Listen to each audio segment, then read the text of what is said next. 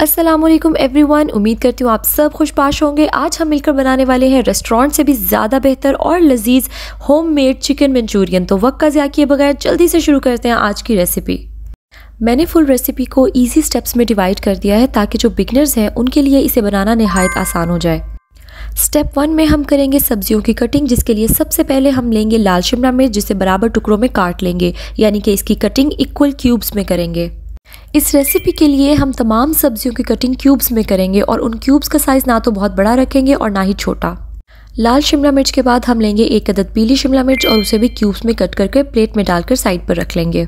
उसी तरह सब शिमला मिर्च के बीज निकालकर उसकी भी कटिंग क्यूब्स में कर लेंगे।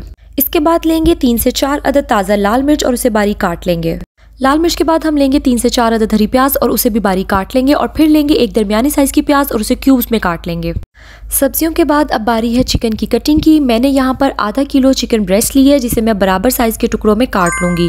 चिकन के टुकड़ों का साइज़ भी ना तो ज़्यादा बड़ा होना चाहिए और ना ज़्यादा छोटा, क्योंकि अगर साइज़ छोटा रखेंगे तो फ्राई के दौरान इसका साइज़ मज़ीद छोटा हो जाएगा। आप चाहें तो मार्केट से कटा हुआ बोनलेस चिकन भी ले सकते हैं। अब चलते हैं स्टेप टू की तरफ़, जिसमें हम करेंगे चिकन की मैरिनेशन मैरिनेशन के लिए हम चिकन में शामिल करेंगे एक खाने का चम्मच नमक, एक खाने का चम्मच कुटी हुई काली मिर्च, एक खाने का चम्मच सफ़ेद मिर्च पाउडर साथ ही हम शामिल करेंगे एक खाने का चम्मच लहसुन पाउडर आधा खाने का चम्मच अदरक पाउडर फिर शामिल करेंगे आधा कप मैदा और इसके साथ ही शामिल कर देंगे तीन खाने के चम्मच कॉर्नफ्लावर आप चिकन की मकदार के हिसाब से अज्जा की मकदार को कम या ज़्यादा कर सकते हैं। और सबसे आखिर में शामिल करेंगे दो अदद अंडे। अब इन सब अज्जा के साथ अच्छी तरीके से चिकन को मैरिनेट कर लेंगे। अच्छे से मिक्स करने के बाद हम चिकन को 10 मिनट के लिए फ्रिज में रख देंगे। अब बारी आती है स्टेप थ्री की जिसमें हम मैरिनेटेड चिकन को फ्राई करेंगे। आपने ऑयल को हीटअप करने के बाद आँच हल्की कर देनी है और हल्की आँच पर चिकन को ऑयल में एक एक करके डालना है। हम चिकन को सात से आठ मिनट तक हल्की आँच पर पकाएँगे ताकि चिकन अंदर से मुकम्मल तौर पर पक जाए और फिर चिकन की साइड चेंज करते हुए हम आँच को थोड़ा सा बढ़ा देंगे ताकि चिकन के ऊपर लाइट गोल्डन कलर आ जाए। ध्यान रहे कि आपने चिकन को गोल्डन ब्राउन नहीं करना है। आप यहाँ पर चिकन का कलर देख सकते हैं। ये लाइट गोल्डन कलर है। ये कलर आने पर आप चिकन को निकाल कर पेपर टॉवल पर रख लेंगे। इसी प्रोसीजर को फॉलो करते हुए हम चिकन के सेकेंड बैच को भी फ्राई कर लेंगे। जी तो अब बारी आती है इस रेसिपी के लास्ट स्टेप की, जिसमें हम रेडी करेंगे मंचूरियन सॉस जिसके लिए हम लेंगे एक पैन में दो खाने के चम्मच ऑयल ऑयल थोड़ा गर्म हो जाने के बाद उसमें शामिल कर देंगे एक खाने का चम्मच कूटा हुआ लहसन और उसे एक से दो मिनट के लिए सौते कर लेंगे। फिर शामिल कर देंगे प्याज, जिसे हमने स्टेप वन में क्यूब्स में कट किया था। प्याज को भी एक से दो मिनट हल्की आँच पर सौते करेंगे। हमने प्याज का कलर चेंज नहीं करना। एक से दो मिनट के बाद हम शामिल कर देंगे क्यूब्स में कटी हुई सब्ज शिमला मिर्च। एक मिनट के बाद हम शामिल करेंगे कटी हुई लाल शिमला मिर्च और साथ ही शामिल कर देंगे कटी हुई पीली शिमला मिर्च।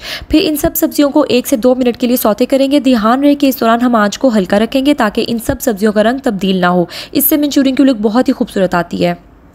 एक से दो मिनट सोते करने के बाद हम शामिल करेंगे एक खाने का चम्मच सफ़ेद सिरका, एक खाने का चम्मच सोया सॉस, एक खाने का चम्मच ऑयस्टर सॉस इससे बहुत अच्छा फ्लेवर आता है, लेकिन अगर आपके पास मौजूद नहीं है तो आप मत डालें। इसके बाद शामिल करेंगे एक चाय का चम्मच नमक, एक चाय का चम्मच कुटी हुई काली मिर्च और साथ ही शामिल कर देंगे कटी हुई हरी प्याज। उसके बाद हम डालेंगे एक खाने का चम्मच ब्राउन शुगर या शक्कर।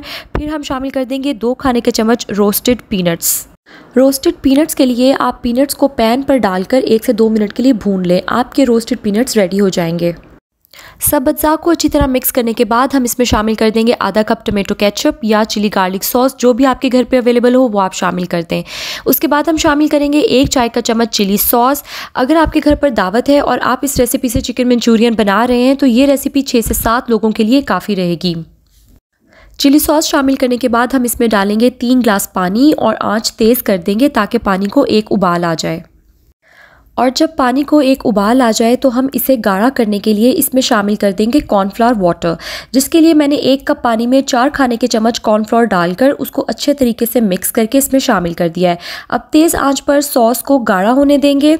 इस दौरान आप सॉस को टेस्ट कर लें। अगर आपको नमक और काली मिर्च कम लगे तो आप अपने टेस्ट के अकॉर्डिंग इसमें और शामिल कर सकते हैं। सॉस के थिक होने के दौरान हम इसमें शामिल कर देंगे फ्राई किया हुआ चिकन और उसको अच्छे से मिक्स कर लेंगे। सॉस की कंसिस्टेंसी ना तो ज़्यादा पतली होनी चाहिए और ना ही ज़्यादा गाढ़ी। आप यहाँ पर कंसिस्टेंसी को देख सकते हैं कि ये स्पून के साथ स्टिक हो रही है। आपने भी सॉस को बस इतना ही गाढ़ा करना है। आप ये भी देख सकते हैं कि सब्ज़ियाँ अभी तक बहुत ही फ्रेश लुक दे रही हैं। उनका कलर बिल्कुल भी चेंज नहीं हुआ और वो ज़्यादा सॉफ्ट भी नहीं हुई हैं। आखिर में हम ऊपर से गार्निश कर देंगे ताज़ा कटी हुई लाल मिर्च, थोड़े से सफ़ेद तिल और थोड़ी सी रोस्टेड पीनट्स ताकि इसके जायके के साथ साथ इसकी लुक भी बहुत ही खूबसूरत आए। अगर आपको एग फ्राइड राइस की रेसिपी चाहिए तो वो भी आपको मेरे चैनल पर मिल जाएगी। जी तो ये थी मज़ेदार और इजी होममेड चिकन मंचूरियन की रेसिपी आप इसे ज़रूर ट्राई कीजिएगा। मुझे यकीन है कि इसके बाद आप कभी भी चिकन मंचूरियन किसी रेस्टोरेंट से मंगवा कर नहीं खाएँगे। अगर आपने अभी तक मेरे चैनल को सब्सक्राइब नहीं किया है तो ज़रूर कर दीजिए। इसके साथ ही रहमान को इजाज़त दीजिए। अल्लाह हाफिज़। फ़ी अमान अल्लाह।